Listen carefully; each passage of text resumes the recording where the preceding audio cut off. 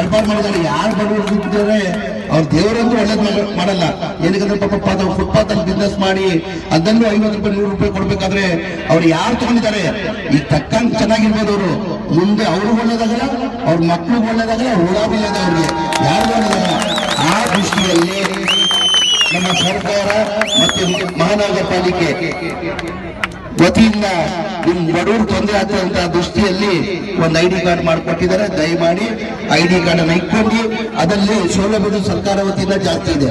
ಈಗ ಹೆಣ್ಮಕ್ಳಿಗೆ ಹತ್ತು ಸಾವಿರ ರೂಪಾಯಿನ ಇಟ್ಟಿದ್ದಾರೆ. ಹತ್ತು ಸಾವಿರ ರೂಪಾಯಿ. ಹತ್ತು ಸಮೃದ್ಧಿ ಯೋಜನೆ ಅಂತ ಹೆಣ್ಮಕ್ಳಿಗೆ ಹತ್ತು ಸಾವಿರ ರೂಪಾಯಿ. ಆಮೇಲೆ ಬೇರೆಯವ್ರಿಗೆ ಹತ್ತು ಸಾವಿರ ರೂಪಾಯಿ ತಿಂಗಳಿಗಂತ ಬಡವರ ಬಂದು ಅಂತ ಒಂದು ಕಾರ್ಯಕ್ರಮನ ಇಟ್ಟು ಹತ್ತು ಸಾವಿರ ರೂಪಾಯಿ ತಟ್ಟಿದ್ದಾರೆ ಅದನ್ನ ಗಾಡಿ ಮಾಡ್ಕೊಳ್ಳೋಕೆ ಟಾರ್ಪಲ್ ಹಾಕೊಳ್ಳೋಕ್ಕೆ ಏನೋ ಪರ್ಮನೆಂಟ್ ಸ್ಟ್ರಕ್ಚರ್ ಮಾಡೋಕೆ. ಅದಕ್ಕಿಂತ ಹೆಚ್ಚಾಗಿ ನೀವು ಫುಟ್ಪಾತ್ನಿಂದ ಅದೇನು ತೊಂದರೆ ಇಲ್ಲ ನಿಮಗೆ?